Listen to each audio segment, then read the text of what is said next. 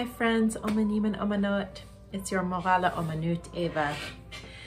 So this week and this week's Torah portion um, is when God commands Moses and the Israelites to create a Mishkan.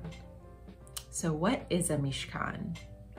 Well, a Mishkan is a often referred to as a tabernacle, but um, it's a sanctuary. It's a portable temple, basically, before the first temple was ever even created. Remember, the Israelites are still wandering in the desert, and so everything that they make needs to be portable. But they have the Torah, right? They have the Ten Commandments. Um, and so they need a special sacred place to house the Torah and to house God, right? Um, for God to dwell in. All the Israelites participate in contributing something beautiful to the Mishkan.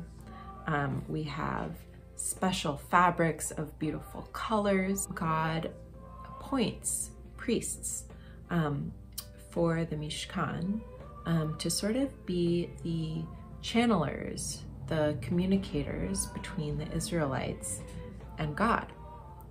And the Kohanim need special garments. And one of those things is the priestly breastplate. It features 12 precious stones. And why do you think there are 12 of them? Can you guess why? What else are there 12 of? If you guessed 12 tribes of Israel, you are correct. So each stone is special and unique, and each tribe is special and unique. And so there's one special stone for each special tribe. Um, and they say that the choshen, the breastplate, would help the Kohanim, the priests, communicate with God if they needed advice um, or guidance, um, that the Choshen would help them to do that. So it was a pretty magical object. We are going to be painting stones, 12 stones, one for each of the special stones that you find in the Choshen. And um, in this Torah portion, it says that they engraved each of the tribe's names in Hebrew on each of the stones that then got set into the breastplate. And so we're going to be writing each of the 12 tribes' names on our stones as well and painting them the colors of the stones that are listed in the Torah portion. So in the Torah portion, it says, here we are in Exodus 28, Verse 15 You shall make a breastpiece of decision worked into a design. Make it in the style of the ephod, make it of gold, of blue, purple, crimson yarns, and of fine twisted linen. It shall be square and doubled, a span in length and a span in width. Set in it mounted stones in four rows of stones. The first row shall be a row of carnelian, chrysolite, and emerald. The second row, a turquoise, sapphire, and an amethyst. The third row, a jacinth, an agate, and a crystal. And the fourth row, a beryl, a lapis lazuli, and a jasper. They shall be framed with gold in their mountings. The stones shall correspond in number to the names of the sons of Israel, twelve corresponding to their names. They shall be engraved like seals, each with its name for the twelve tribes.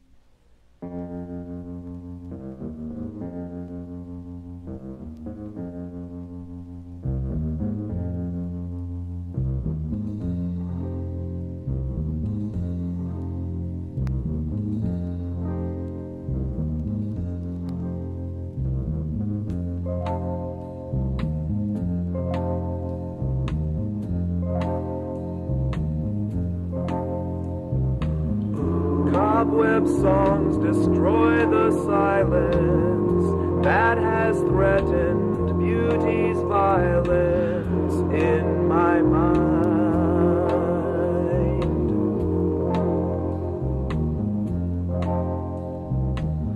The tears have flowed like velvet thunder, smiles are shattered and torn asunder, then I find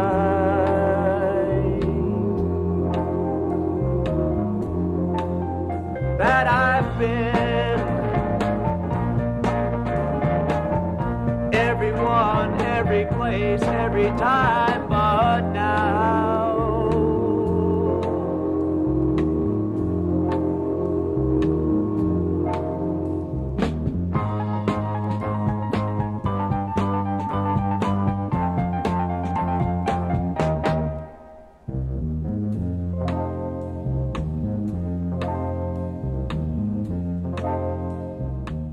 Okay, Omanim and Omanot, thank you so much for doing this project with me.